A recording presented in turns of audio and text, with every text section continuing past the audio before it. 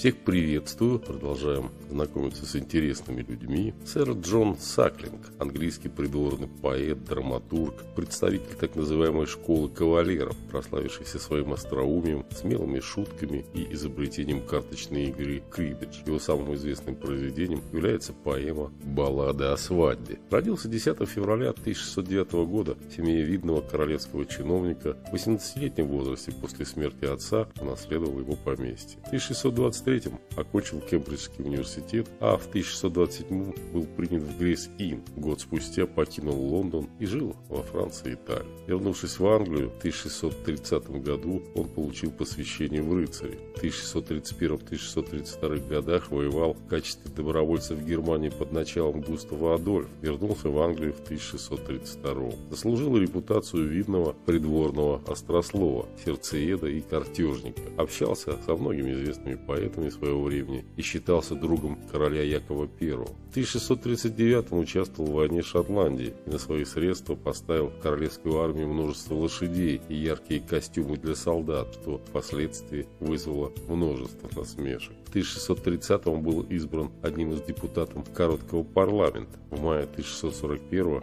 года он принял участие в заговоре по вызволению лорда Стаффорда из Тауэра и призыву французских войск в Англию для помощи королю, а когда заговор был раскрыт, бежал в Париж. Дальнейшая его судьба неизвестна. По одной версии он умер в Париже в страшной нищете, приняв яд. По другой бежал с любовницей в Испанию, где был арестован и замучен инквизицией после мая 1641 года. Как писатель наиболее известен своими любовными лирическими стихотворениями, а также комедия «Гоголь», также трагедия «Аглаура», впервые поставленной в 1637 году и год спустя изданной в виде брошюры за счет средств автора. Вот некоторые его стихотворения. Перевод Марины Бородицкой. Стихотворение называется «Против взаимности в любви».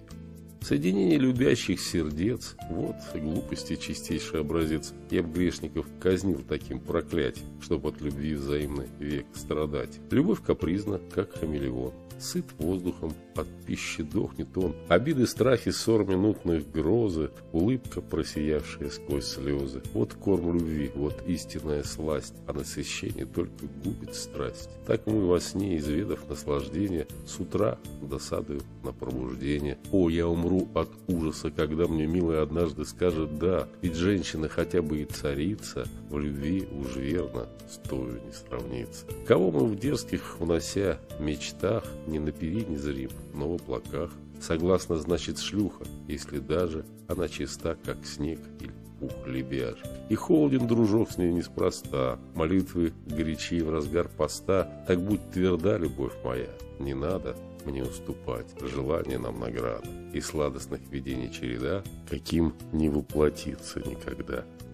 Следующее стихотворение называется «Что бледнеешь и вздыхаешь». Что бледнеешь и вздыхаешь, бедный дуралей, Или вздохами мечтаешь тронуть сердце ей, бедный дуралей? Что молчишь и смотришь кротко, а не мел простак, Или думаешь, красотка все поймет и так? Вот какой простак, не добьешься ничего ты, брось, не будь упрям, Если нет в ней охоты, не поладить вам, ну и чертя. Следующее творение верно влюблен. Черт возьми, три дня подряд я в любовной роли, если дождик не пойдет, пролюблю и боли. Феб, ты обошел весь свет, отвечай толково, где ты видел дурака, верного такого. Следующее стихотворение «Свеча». Свеча, сей нужный в доме атрибут, при свете редко достают. Но стоит сумеркам сгуститься, спешит Матрона или девица извлечь его. И тверд, и прям, белеет он в руках у дам, Засим его без промедления вставляет ловко в углубление, где он смягчится, опадет и клейкой влагой зайдет. Следующее называется «Украденное сердце». Свое ты не дала взамен, просил мое вернуть, пока его томил твой плен, от горя ныла грудь. Теперь решил не брать назад и ни к чему платеж. Я же вижу, взгляд твой вороват и снова заберешь. Два сердца у тебя в груди, без связи между собой. А где же любовь? Поди, найди, смирюсь ли я с судьбой. Любовь – таинственный предмет, и что к чему Бог весть, так раз ключа к загадке нет, пусть будет все как есть. Добилась, так сочти, измерь от сердца твоего, не менее держу теперь, чем ты от моего. Следующее творение любимое, лишь вспомнишься мне вдруг. Любимая, лишь вспомнишься мне вдруг, Вся красота сбирается вокруг, Все дивности, что мной ценимы, Все те, что созданы богами, Внезапно возникают сами, Хотя порой они незримы. Сижу теперь, вздыхая целый день, Среди огней, что гонит с неба тень, До первых взмахов крыльев ночи, Когда других смирит дремота, Во мне все нет такой охоты, И в памяти твоей лишь очи. Разлуку или смерть не одолеть, но жажда полюбить не гибнет впредь. Любовь — вершина совершенства, какая б темень не царила. Любовь — такой кремень, чья сила взметает к нему сноп блаженств. Сбурлит подчас иной большой прилив, высокий мыс в волнении омыв, да речку поворотит встречно. Поверь, любовь способна рьяно быть не слабее океана и не единожды, а вечно.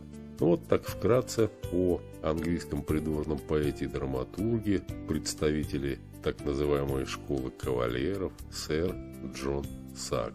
Данные из интернета.